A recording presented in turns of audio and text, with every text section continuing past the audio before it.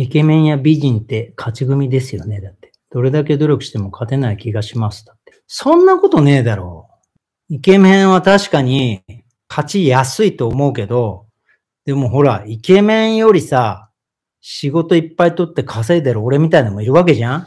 芸能界入ってさ。どうよ？まあまあイケメンを逆転した自信もあるぜ、俺。まあまあな数のイケメンを倒した自信あるぜ。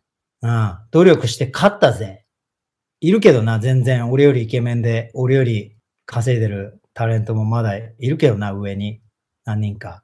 くそったれが、実機証明。ひっくり返せない人もいるけど、でもまあまあなイケメンたちを倒してるはずだぞ。努力して勝てる場所もあるぞ。イケメンでも全然成功してないやつもいっぱいいるだろ美人でもダメな人もいっぱいいるし。うん。ルックスだけで人生なんか決まんねえよ。決まんねえ。そんなもんじゃねえよ。